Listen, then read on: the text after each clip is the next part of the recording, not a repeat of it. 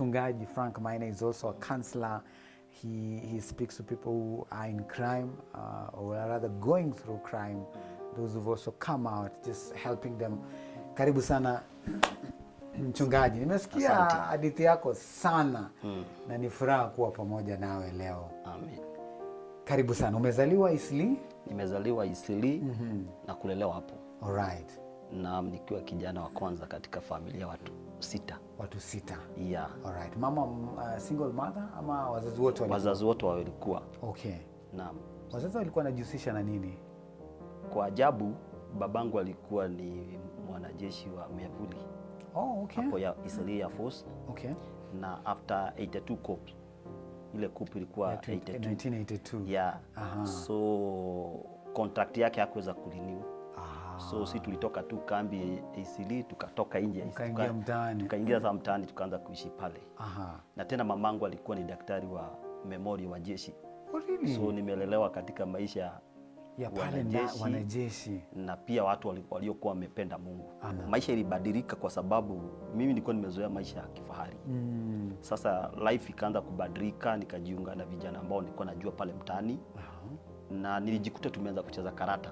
Alright. So karata ndio ilimeni introduce kwa Crime. kwa crime. Tukaanza kunyang'anyana mpaka mikufu ya dhahabu. mm. Tuko. Zinaitwa? Ndechu, ndechu. Ndechu. Eh, hizo chains za dhahabu. Aha. Tukaanza kuzinyang'anyana pale Isili tukiziuza. Tukaenda hivyo polepole tukajikuta Wahindi sasa walioanza kuogopa kuhama Isili. Wakaenda Pangani. Pa- Aha. Tukawafuata Pangani. huko ndio mnaenda kuwaibia sasa tukawafuata Pangani, tukajikuta sasa zi, tumeenda hivi hivi mpaka sasa tumegraduate kutoka kwa mikufu ya dhahabu. Polepole nikajikuta sasa nimeingilia vipuri za magari, Wow. tukaanza kutoa zile mawili caps, side mirror, tuna tunaziuza pale Kariakoo. Kuna mahali kunaitangwa makaburi, Ehe. tunauza hizo spare part hapo, na tukaendelea hivi hivi. Nakumbuka kisa moja, ili nitoke katika kuiba vipuri za magari, tumeiba side mirror kutoka Aga Khan Alright. na nikakimbizwa sana mpaka pale makaburi ile tunaitanga ya Jews Yes, hii ya, wa, ya Wayahudi iko pale. Ehe, nimeona. So nikiwa nimekimbizwa sana, nikaenda nikajificha huko na nikalala kwa hizo makaburi. mm -hmm. So ile kio kwa sababu nilikuwa nimeweka hapa mm. ikavunjika. So ilipovunjika kwenda kuiuza ikakataliwa. Okay. So unaona nimekimbizwa karibu niuliwe juu ningeshikwa nikuuliwa. Nilikuwa nimekimbizwa na karibu city park mzima. Wow. So nilipoipeleka na ikakataliwa, nika tukakasirika sana na marafiki zangu so tuka decide sasa, badala ya kuiba vipuri za magari tutaanza kuiba magari mzima. Ujue roho ya wizi ndio likakwambia roho haifungangwi, Inakuita tu.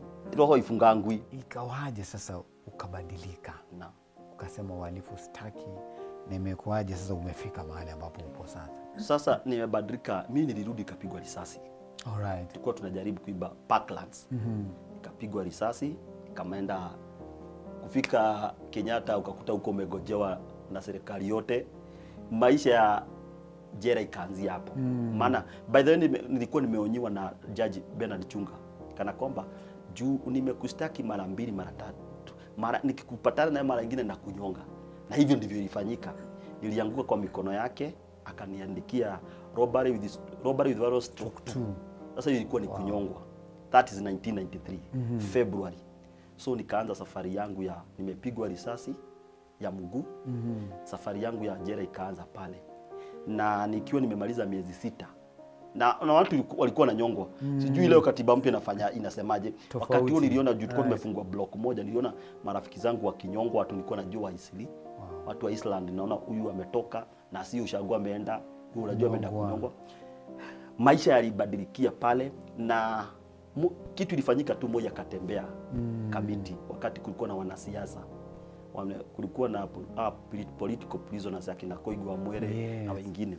Alikuwa anatembea ghafla. So akitembea na kule kuna ile kuna itango kukaba. Filimbi ikipigwa mnakimbia watano watano mnakaa chini. So mi singeweza kukimbia juu nilikuwa natumia clutches.